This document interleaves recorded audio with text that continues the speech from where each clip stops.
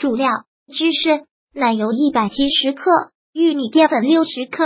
辅料：洋葱、青豆、玉米、盐、鸡蛋一只、肉丁。先准备好材料，锅内烧水，放入玉米、青豆煮熟，捞干水备用。锅内加油，将洋葱爆炒至软，放入肉粒和青豆、玉米，放入调味料煮熟备用。一半奶油与玉米淀粉搅拌均匀，放入鸡蛋搅拌，最后放入另一半奶油搅拌均匀，放适量盐调味，模具抹油便于脱模。放入芝士，刚才焯好的馅倒入奶油液，烤箱二百度预热，烤二十五分钟。出炉。